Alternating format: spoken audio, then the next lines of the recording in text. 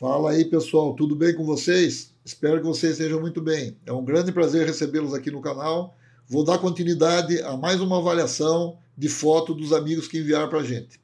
Estamos encerrando a sessão analisando sua foto 2. Aqueles que não mandaram, peço desculpa, mas vai ter que esperar aí para que uma outra oportunidade a gente possa receber as fotos, tá bom? Muito bem. Você não é inscrito no canal? Pô, faz inscrição lá, cara. Dá uma força pra gente. Se inscreve no canal aperta lá no sininho lá e para receber as mensagens. Deixa o seu likezinho quando puder, porque é sempre importante para a gente o likezinho, tá bom? Se ajudar a divulgar, eu agradeço muito, de coração, tá bom? Então vamos para o nosso episódio de hoje.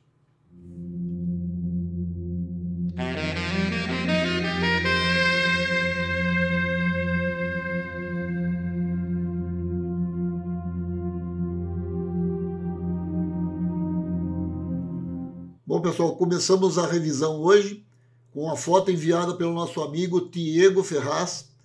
E aqui estão as especificações da imagem que ele mandou e do equipamento que ele usou. Ele usou uma distância focal de 17 milímetros, uma lente 1750-28. A câmera que ele usou é uma Canon EOS Rebel T6S, ok? E vamos dar uma olhadinha aqui, que eu vi já a foto anteriormente e queria ver a hora que ele fotografou essa imagem. Foi às 11 horas 47 minutos que ele fotografou do dia 6 de 1 de 2017. Vendo a imagem aqui que ele enviou, aqui nós temos a imagem original, em RAW, e aqui a imagem que ele editou. Então, vendo a imagem aqui que ele enviou, nós podemos perceber que o horário que ele fez a foto não foi favorável para a imagem. Eu sempre falo para vocês que foto de paisagem, os melhores horários são até as 9 horas da manhã, de manhã, na hora que um pouquinho antes nasceu o sol, até as 9 horas, 9 e pouco da manhã, e depois à tarde, das 4 até o pôr do sol e um pouquinho depois do pôr do sol. Então, esses são os horários que vocês devem é, dar preferência para poder fazer realmente as imagens de paisagem. Tá? O que, que acontece fotografando com o sol mais alto? Você perde textura na mata, você perde textura nas pedras, nas águas, etc. E tal. O que, que eu observo nessa imagem? Que ela está estourada. Aqui, onde que tem as águas, aqui não tem detalhe. Tá? Olha aí. Então, faltam detalhes aqui nas águas. Olha aí, vou aumentar o tamanho para vocês verem aqui. E aqui não tem detalhe nenhum. E isso está estourado. Então, no jargão da fotografia, esse é o termo de estourado, tá certo? E então nós vamos ter que tentar recuperar isso, logicamente, no, no trabalho que nós vamos fazer é, agora de edição, tá? É, então vamos lá. Eu vou abrir aqui a imagem no Camera Raw.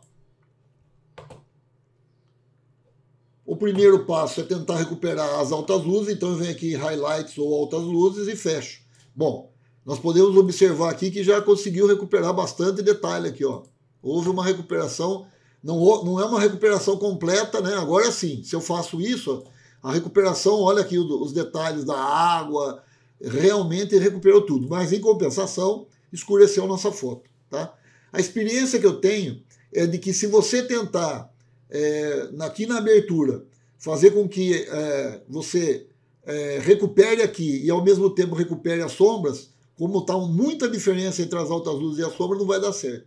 Então a experiência que eu tenho e, e a técnica que eu uso é fechar, recuperar as altas luzes, que são as mais difíceis de ser recuperadas, tá? apanhar o pincel, peguei um pincel, pus um tamanho bem grande, vou zerar o pincel aqui, coloquei luz aqui e sombra, abri aqui a possibilidade de recuperar sombra.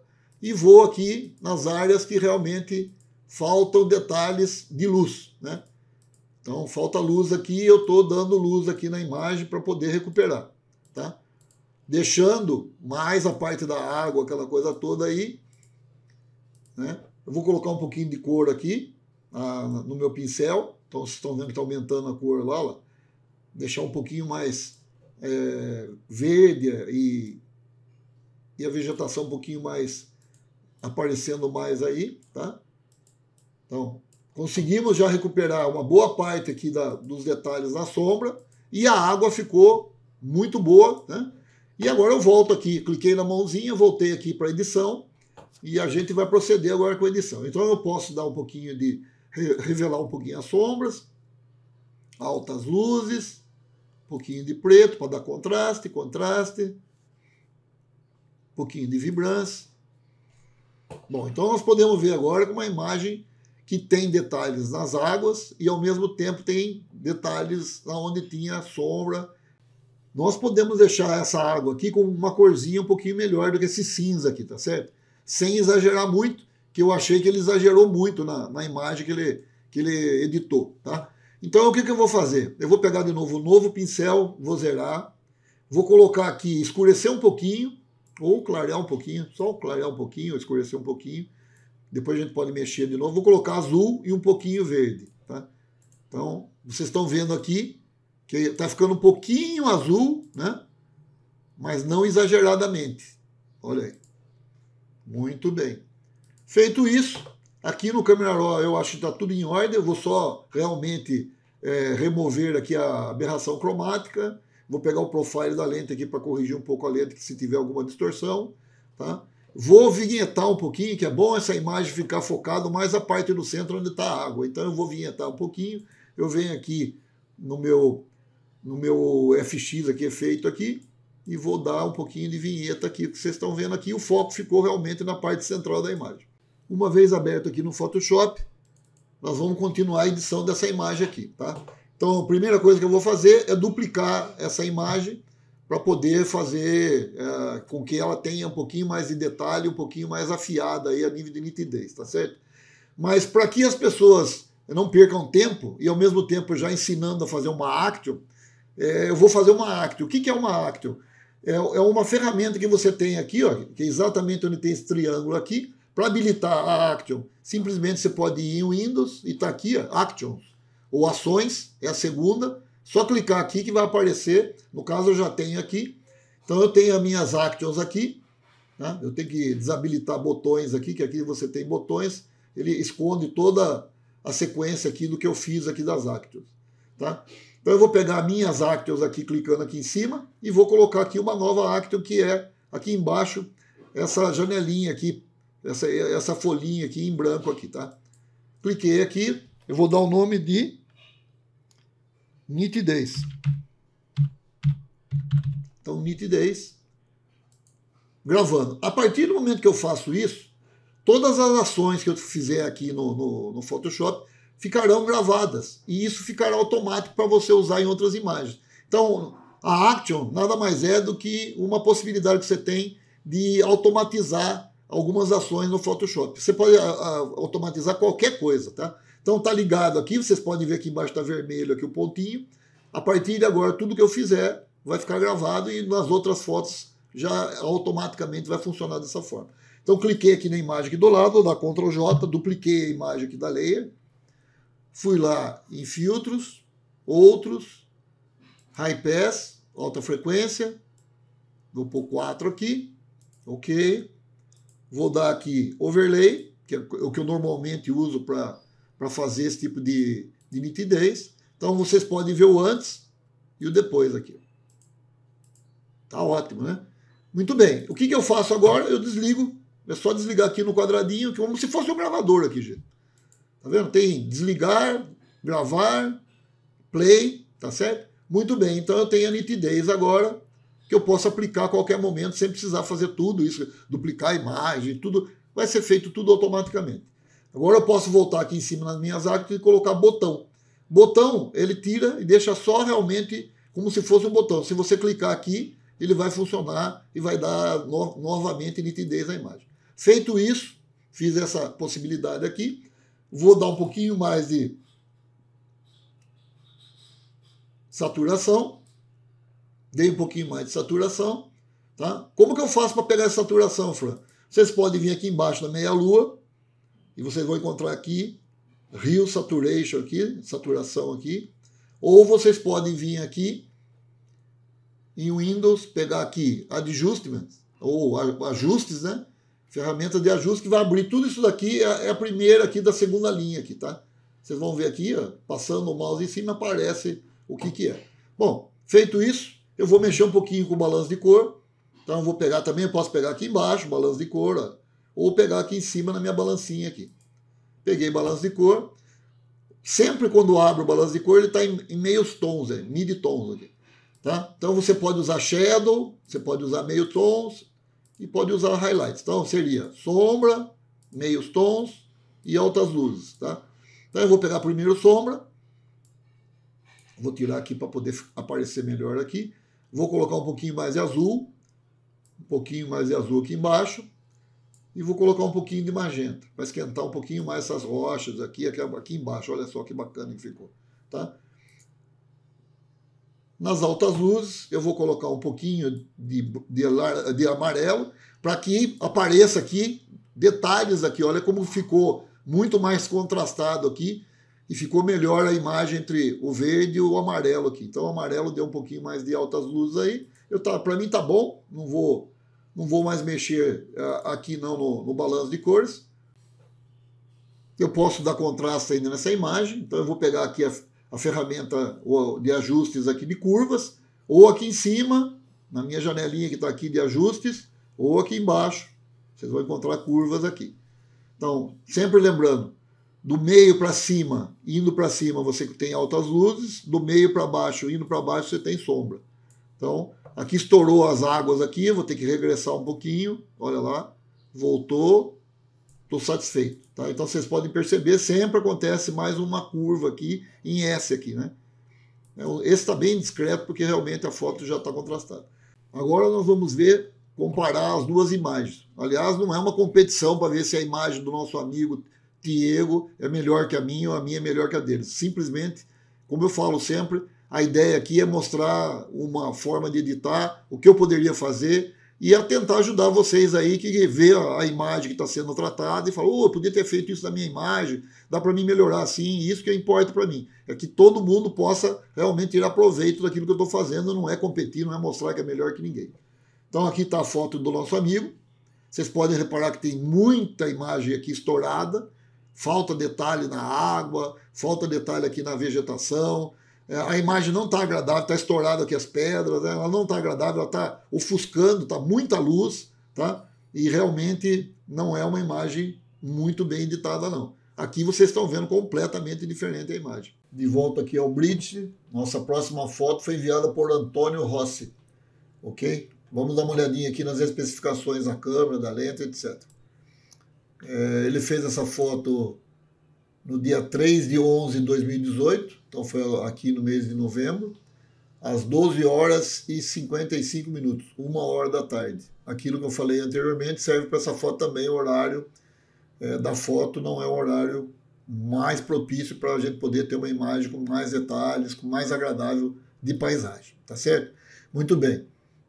Aqui estão os dados da, da câmera dele, é uma Canon EOS Rebel T5i, tá? A lente dele é uma 18-135 e ele fez em 3.5. A abertura ele deu em 3.5. Tá? Então vamos dar uma olhada agora nas imagens aqui para a gente poder ver. Essa é a imagem original. O, o Antônio Rossi capturou uma vegetação bacana aí, né? uma folhagem muito bonita. E aqui é o que ele editou. Tá? Voltando aqui para a imagem original, o que, que eu posso notar? é praticamente a mesma coisa que a gente notou na, na, foto anterior. Tem muita imagem estourada aqui a nível de cor, de detalhe. Aqui não tem detalhe nenhum das folhas. Isso que aqui é, a gente chama de imagem lavada, tá? Então isso é uma imagem lavada. Como é uma imagem RAW, eu posso recuperar, né?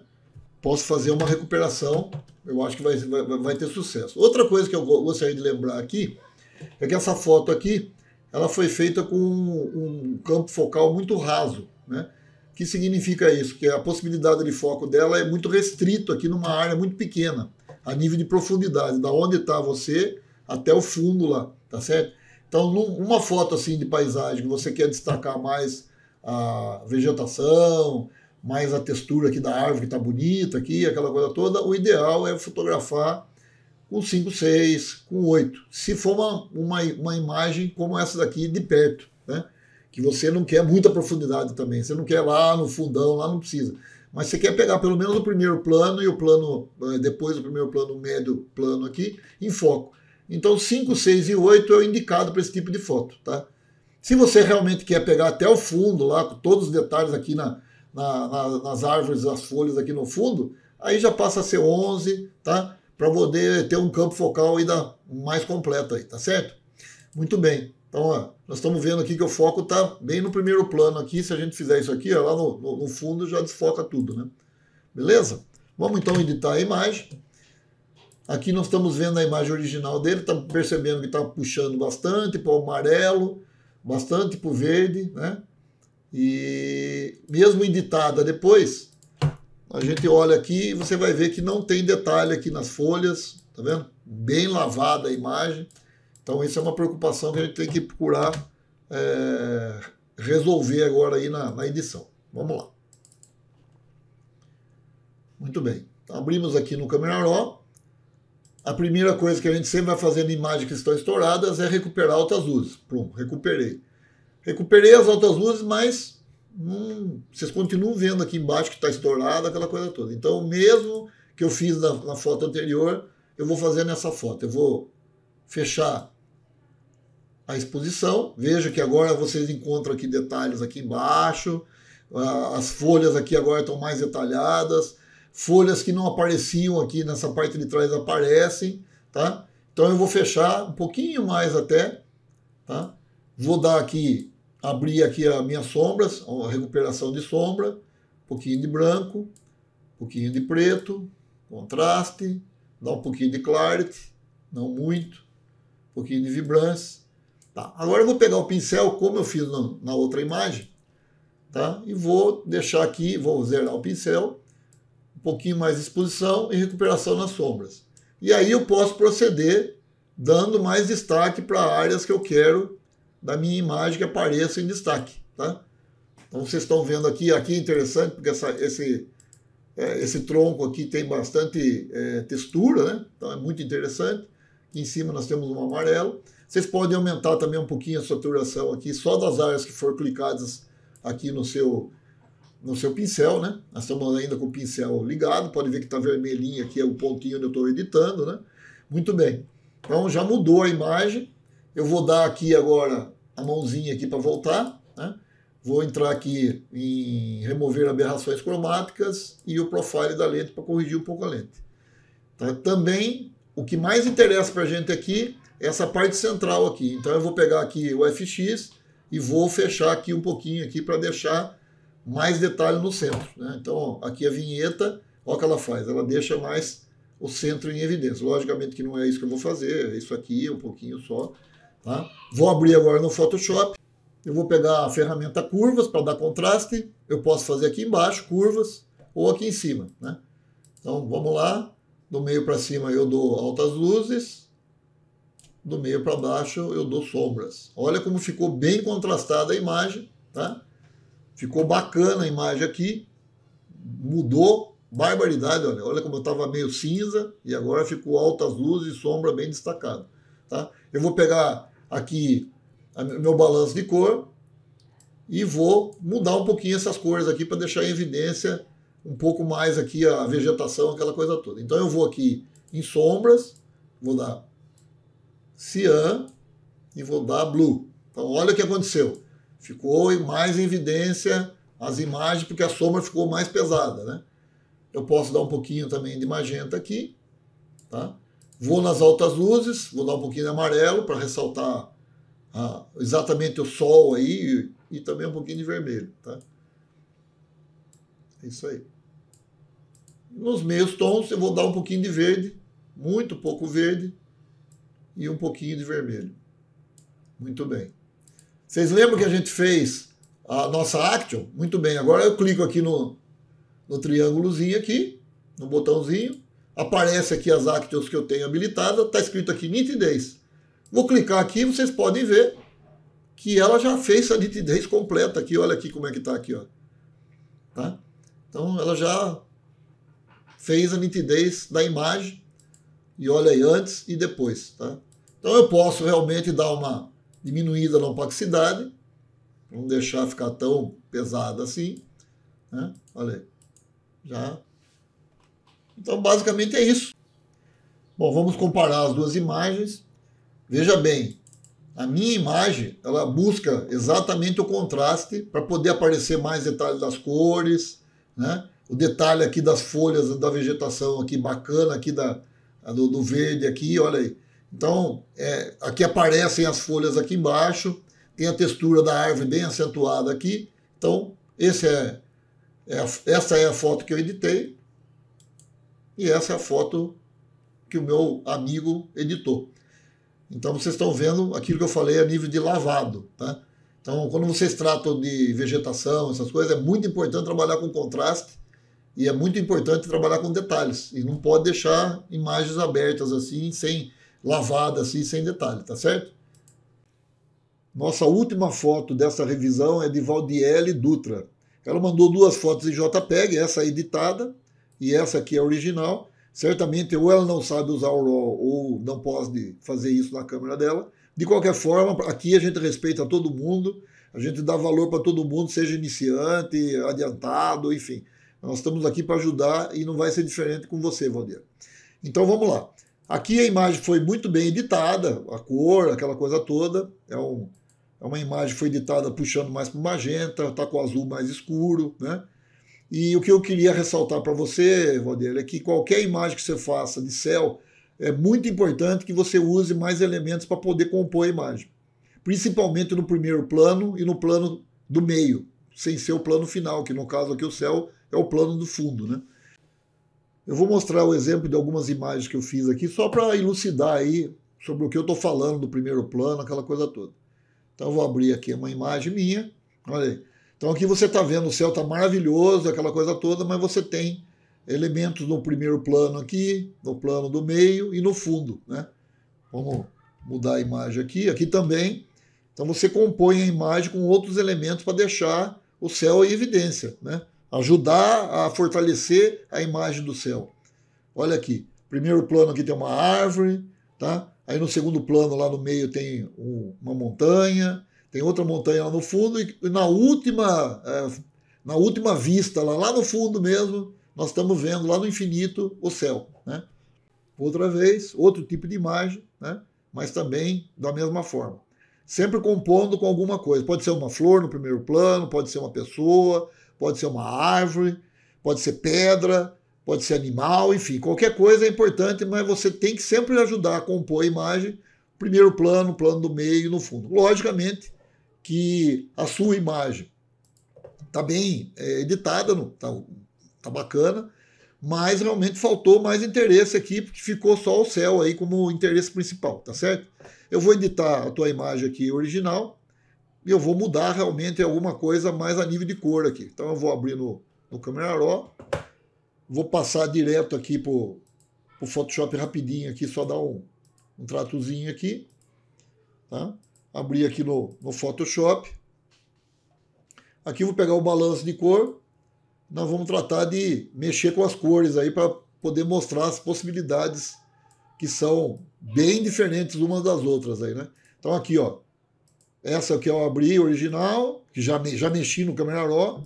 Essa é outra imagem com outro, dando mais ênfase ao azul e deixando alguns detalhes aí mais em, em magenta e em laranja, tá vendo? Vamos fazer outra? Vou pegar outra aqui, vou pegar outro balanço de cor aqui. Vou pegar sombra.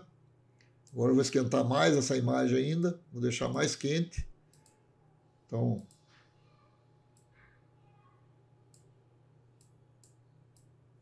Então, olha aí. Deixei mais dramática a imagem, mais quente. Então, essa daqui é a que nós abrimos no Camera Raw. Aqui já está mais quente a imagem. E aqui que eu fiz anteriormente. Tá? Então, vocês estão vendo que dá para fazer é, esse céu ficar com diferentes tonalidades e é o gosto de vocês, tá certo? Vamos dar a nossa nitidez agora com a nossa Actium. Sempre precisa clicar aqui na imagem que você vai usar, né? é, não, pode clicar aqui em cima para você fazer a nitidez, tem que estar tá na, na, layer da foto. Você vem aqui em, nas Action, onde que eu acho isso aqui, Fran? Você pode vir aqui, clicar em ações ou Action aqui, vai aparecer o triângulozinho, clicou, tem lá nitidez, você clicou na nitidez, já vai proceder aqui a nitidez da imagem. Olha aí. Então, desligando antes e o depois. Dá para ver aqui embaixo, ó, detalhe da, das árvores aqui, vai dar para ver bem. Ó. ó. Tá? Gostaram? Se gostou, não esquece de deixar o likezinho no Fran, ok? Fique em paz, fique com Deus e até a próxima.